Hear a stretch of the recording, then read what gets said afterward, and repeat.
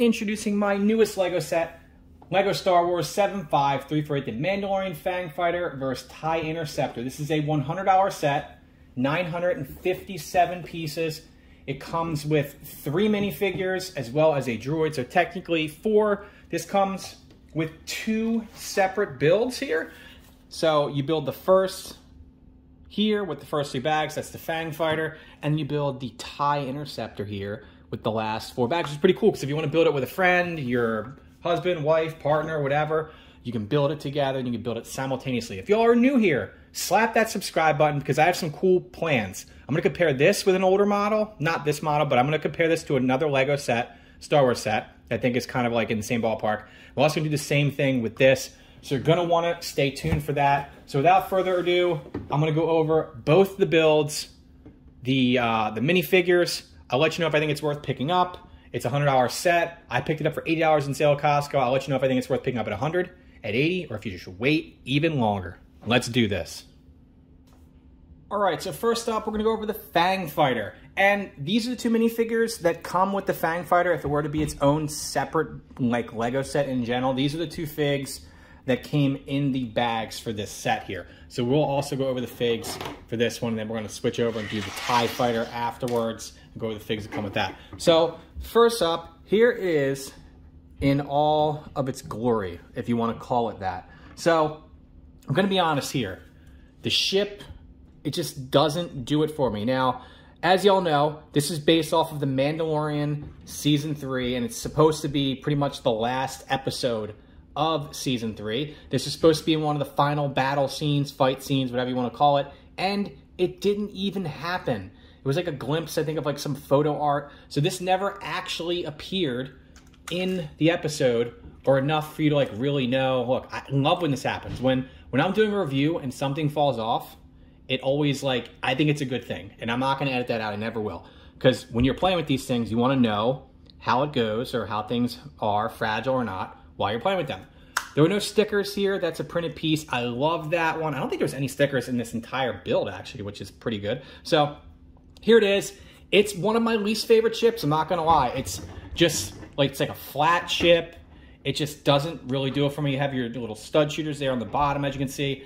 It's just not something that I really enjoyed building, and it's something that I probably won't have on display. It's probably gonna go in some type of uh, like cabinet or box or something like that. I had I have to have it obviously for the collection, but the the build itself just did not do it for me. Not my favorite. All right, so now what did do it for me is the minifigure lineup. I love these minifigures, so we're gonna do something a little different here. I got it on the stand. Some of y'all said, Zach, you should put this thing on a stand and let it spin around. So that's what we're going to do. I love this minifigure. The Mando figure here with the uh, the brown armor It just really does it for me. I know it's not accurate to the show. He has a nice arm printing. He does have a face. Now, something that some folks have been upset about is the dark saber. It doesn't have its own like special print. And you know what? I am okay with that. I don't really care about accessories too much. So I know it'd be cool to have some like special mold, but I'm okay with not having it. And then Mando does have a nice printed face. It's nice that we got to see his face after all those seasons. Uh, here he is, his jetpack there. So all in all, I think I really, really like the Mandalorian minifigure here. The helmet looks really, really good. Now the helmet quality has definitely, the helmet quality has definitely improved over the years, which is really, really nice to see. trying to get in there so you don't see like all the glare. Uh, I love this helmet. And now we're gonna switch over to what I think is the prized figure in this set. The Mandalorian Fleet Commander, and he looks phenomenal. I think this figure will be similar to the Mandalorian Starfighter starship that came out not too long ago and it's has since retired. The figure lineup in that set was awesome. Had some really cool Mandalorian minifigures. This Mandalorian minifigure right here, this Fleet Commander, this is exclusive to my knowledge and it looks really, really good. So if anything, you're gonna wanna get your hands on this set specifically just for this figure in my opinion. If you don't really care about all the sets or all the builds, you're gonna want to have this set for this. Now, we'll take his helmet off here. He has a printed face as well. And he comes with a hairpiece, which is kind of confusing to me because I think most of the Mandalorians don't take their helmets off. Um, but some reason did. And it came with this like extra accessory piece here, which again, you know my feelings on accessories. Don't really care to it. It will just go in some type of extra pieces draw. I like the face with the eyebrows and it looks really, really sharp. Uh, he has two faces here. He's got another smiley face there on the back. Looks really, really good. So if anything, get this set specifically for this minifigure. Now let's move on to the TIE Interceptor.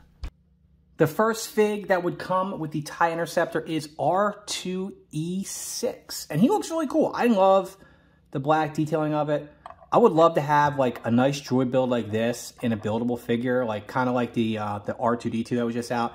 I know it'd be a hard sell probably, but I think it would look really, really good. And I like this figure. Again, I don't know if he has like any, I mean, because the ship wasn't, this scene wasn't in the actual show, um, he just looks like to me like he's like a made up character. I could very well be wrong, but nonetheless, I'm happy to add him to my collection. I have a TIE Fighter pilot. Looks really, really good. I love the detail on the helmet. I love all the TIE Fighter builds. I really, really do. We're going to keep moving along here. So going all the way around, he looks really, really good. And the back side here, you can see, again, it is just a decent figure. It's a TIE Fighter pilot, so you get what you would expect. But I just love the TIE Fighter helmets. They just, they really, really do it for me. I think they're phenomenal. And just so you can see, he does have a face. Oh, actually, it looks like that's that's a female TIE Fighter pilot, I, I think, at least. Uh, nothing on the back here. Uh, so this figure, she looks really, really good. I love the helmet. I love the detailing. You can never go wrong with a LEGO Star Wars TIE Fighter pilot. Moving on to the TIE Interceptor. I really, really like this build. Now, it was a monotonous build. As you can tell, you build basically the same four wings, you know, four separate times. You build like one, you build two and two, two and two.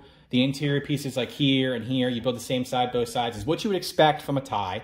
Uh, but there's not many TIE interceptors in the Star Wars, Lego Star Wars universe. So it's nice to have one here. Even though I don't think you really see this in the scene, it's an awesome ship. This opens up. Now, this is a printed piece here. That's a printed piece there on the top as well.